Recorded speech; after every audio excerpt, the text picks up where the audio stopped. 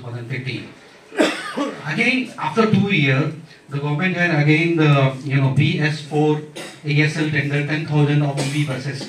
EESL as the government uh, subsidiary uh, organization, EESL Energy Efficiency uh, Services Limited.